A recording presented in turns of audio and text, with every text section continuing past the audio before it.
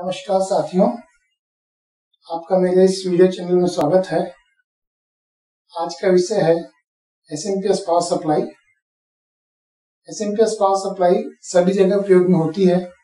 सभी मोबाइल के चार्जर्स में बैटरी चार्जर सिस्टम में या कोई भी पावर सप्लाई छोटी मोटी होती है, या लैपटॉप के चार्जर में या आपके टीवी के पावर सप्लाई सिस्टम में अधिकांश जगह में। S M P S power supply का यूज़ किया जाता है। तो आज का सब्जेक्ट जो है S M P S power supply के सर्किट का डिस्क्रिप्शन है। यहाँ पर ये S M P S power supply का डायग्राम बनाया गया है। इसमें मेन रूप से ये पहले सबसे पहले लाइन फ़िल्टर होता है ये एसी से डीसी रेक्टिफिकेशन होता है ये ऑसिलेटर सर्किट होता है स्विचिंग सर्किट इसमें एस ट्रांसफॉर्मर होता है फाइनल रेक्टिफिकेशन स्टेज होता है। यहाँ पर एक अपलो कपलर होता है फीडबैक के लिए। यहाँ पर सबसे पहले ये दो पॉइंट ऊपर हम two thirty volt AC supply देते हैं, जो कि फ्यूज में जाती है। टू पॉइंट फाइव एम्पियर का फ्यूज है। अगर सर्किट में कोई प्रॉब्लम आने के केस में, ये फ्यूज ब्लोन हो जाता है और सर्किट को सेव कर देता है। इसके बाद में ये condenser C one inductance L one और इंडक्टेंस एल टू ये जो है लाइन फ़िल्टर का काम करते हैं। यहाँ पर जब स्विचिंग होती है या हाई फ्रिक्वेंसी का नॉइज़ जनरेट होता है। उस नाइस को इस सर्किट से बाहर सोर्स के साइड ना जाने दे, इसलिए लाइन फ़िल्टर काम करता है। इसके बाद में ये D one D two D three D four ये चार डायोड हैं। ये चार डायोड मिलकर के ब्रिज रेक्टिफायर बनाते हैं। यहाँ पर एसी इनपुट देते हैं, जिससे हमारे को यहाँ पर डीसी आउटपुट मिलता है, यहाँ प्लस मिलता है, यहाँ माइनस मिलता है। यहाँ टू थर्टी वोल्ट देने से यहाँ पे करीब टू सेवेंटी फाइव वोल्ट के आसपास डीसी मिलता है। इसके बाद में एनटीसी है एनटीसी को निगेटिव टेम्परेचर कॉफिशियंट बोलते हैं। ये रेजिस्टेंस की वैल्यू पहले हाई रहती है। जब फ्लो होने से गर्म होता है तो इसकी वैल्यू कम हो जाती है। यहाँ ये फ़िल्टर कंडेंसर है। इसका काम है स्टार्टिंग का फ़िल्टर कंडेंसर के करंट को कम करना। और जैसे ही कंडेंसर चार्ज हो जाता है, इसके अंदर इसकी रेजिस्टेंस की वैल्यू कम हो जाती है। तो यहाँ पर फुल वोल्टेज आ जाता है। इस तरह से एसी से डीसी का सर्किट हो गया। यहाँ तक के सर्किट में फॉल्ट होने से डायोड में फॉल्ट होता है जनरली ये फ्यूज है ये कॉइल ओपन हो जाती है, या एनटीसी कभी कभी खराब हो जाता है। इसके आगे यहाँ पर मेन जो चीज़ है, वो ये ट्रांसफ़र है एस एम पी ट्रांसफ़र बोलते हैं इसको।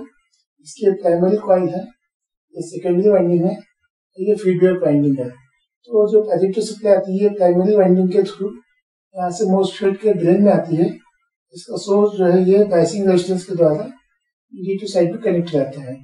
जैसे ही पावर सप्लाई ऑन करते हैं तो स्टार्टिंग में ये पूरा पॉजिटिव वोल्टेज यहाँ से यहाँ तक आता है और इस 400 सेंटी के के रेजिस्टेंस से इस वन के के थ्रू इसको बाइसिंग मिलती है, इसमें करंट फ्लो होना चालू होती है। उससे इस वाइंडिंग में फीडबैक वोल्टेज आता है, वो वोल्टेज इस कैपेसिटर के थ्रू आता है और इसको एक्स्ट्रा बाइसिंग मिलती है तो इसकी करंट इंक्रीज होती जाती है। जैसे मैक्सिमम करंट आती है, उस समय यहाँ से फीडबैक वोल्टेज आना बंद हो जाता है तो करंट रिड्यूस होना चालू हो जाती है, ये मोस्फेट कट ऑफ़ हो जाता है और इसकी जो करंट है वो इस सर्किट के थ्रू डिस्चार्ज हो जाती है। ये कंप्लीट डिस्चार्ज होने के बाद में जैसे इसकी करंट ज़ीरो होती है, फिर से यहाँ से फीडबैक वोल्टेज आता है और मोस्फेट फिर से कनेक्ट करना चालू कर देता है तो फिर से इसमें करंट फ्लो होती है। इस तरह से ये ऑन ऑफ़ ऑन ऑफ़ चलते रहता है। ये करीब फिफ्टीन थाउज़ेंड हर्स के ऊपर में चलता है। मतलब पंद्रह हज़ार साइकिल इसकी फ्रिक्वेंसी होती है अप्रोक्सीमेटली ये प्राइमरी वाइंडिंग में जो है ऑन होती है ऑफ़ होती है ऑन होती है ऑफ़ होती है। इसके कारण से सेकेंडरी वाइंडिंग में वोल्टेज पैदा होता है। इस वोल्टेज को इस डायोड के द्वारा रेक्टिफाई करते हैं, और ये फ़िल्टर कंडेंसर उसको फ़िल्टर करता है, ये ब्लीडिंग रेजिस्टेंस है, यहाँ पर हमारे को आउटपुट वोल्टेज 12 वोल्ट मिलता है। यहाँ पर क्या है कि कभी आउटपुट वोल्टेज 12 वोल्ट से ज़्यादा हो जाए तो उसको कट ऑफ़ करने के लिए यहाँ से एक फीडबैक रेजिस्टेंस दिया है, जो कि सब कपलर में जाता है। इसका वोल्टेज अगर ट्वेल्व से ज़्यादा होगा तो ये जेनर डायोड कंडक्ट करेगा ये ऑप्टो कपलर कनेक्ट करने से यहाँ से ये जो वोल्टेज है, इस ऑप्टो कपलर के थ्रू यहाँ से इस ट्रांजिस्टर में आता है, ये ट्रांजिस्टर इस सर्किट की स्पीड को रिड्यूस कर देता है। तो वोल्टेज यहाँ का ट्वेल्व वोल्ट से कम हो जाता है। इसके अलावा कंटिन्यूस रनिंग के टाइम में भी यहाँ से जो, ये डायोड और ये कंडेंसर और ये रेजिस्टेंस मिलके यहाँ पे कुछ पॉजिटिव वोल्टेज बनाते हैं। ये पॉजिटिव वोल्टेज इस कॉइल के साथ में इसके ऐसी फीडबैक वोल्टेज के साथ मिल करके यहाँ से इसके थ्रू इसमें आता है। और इसका जो ये सर्किट है, इसका फ़ीड जो सोर्स वाला पोर्शन है, यहाँ के रेजिस्टेंस ये रेजिस्टेंस ये कंडेंसर के द्वारा कुछ फीडबैक वोल्टेज यहाँ से आता है, जो कि कंटिन्यूसली इस ट्रांजिस्टर को कंट्रोल करता है। इसके द्वारा इसकी मोस्ट की जो गेट है, इसका वोल्टेज कंट्रोल होता है। इसके कारण से कंटिन्यूसली हमारे यहाँ का आउटपुट कांस्टेंट 12 वोल्ट मिलता है। ये जो ट्रांजिस्टर है एज ए कंट्रोल ट्रांजिस्टर का काम करता है। ये वाला जो मोस्टफेट है स्विचिंग ट्रांजिस्टर जिसे काम करता है, ये वाली फीडबैक वाइंडिंग है। ये वाला डायोड एज ए रेक्टिफायर काम करता है, ये कैपेसिटर में सप्लाई देने के लिए। तो ये डायोड से रेक्टिफिकेशन होकर आपका वोल्टेज प्रोड्यूस होता है। ये वाला जो सर्किट है, ये इसमें जो करंट फ्लो हो जाती है, इस करंट को डिस्चार्जिंग पाथ प्रोवाइड कराता है। तो ये डायोड और ये और ये रेजिस्टेंस ये तीनों डिस्चार्जिंग सर्किट का काम करते हैं। यदि कभी बाबा हो रहा है तो ऐसे केस में इसके सर्किट को भी चेक करना चाहिए। इसका डायोड या कैपेसिटर खराब होने से, या फिर हाई वोल्टेज प्रोड्यूस होने से ये मोस्फेट बार बार जल सकता है।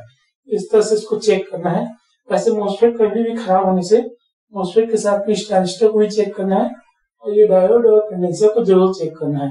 इस तरह से ये सर्किट है कंप्लीट इसमें यह जो डायोड दिया है इसके मोस्फेट का जो वोल्टेज है, यहाँ का ट्रांजिस्टर कलेक्टर वोल्टेज को 18 वोल्ट से ज़्यादा ना जाने दे, क्योंकि यहाँ से डायरेक्ट पावर सप्लाई से वोल्टेज आ रहा है। यदि आप ये स्टेप को जनरल डायोड नहीं लगाएँगे तो यहाँ का वोल्टेज 18 से भी ज़्यादा हो सकता है, जो कि इस ट्रांजिस्टर को डैमेज कर सकते हैं। इस तरह से इसका मेन सर्किट हुआ। इससे मेन पार्ट जैसे कि मैं है ये वाला लाइन फ़िल्टर सर्किट ये रेक्टिफायर सर्किट ये स्विचिंग सर्किट ये वाला आपका आउटपुट रेक्टिफायर सर्किट ये आपको कपलर फीडबैक सर्किट इस तरह से इसके मेन सेक्शन हो जाते हैं।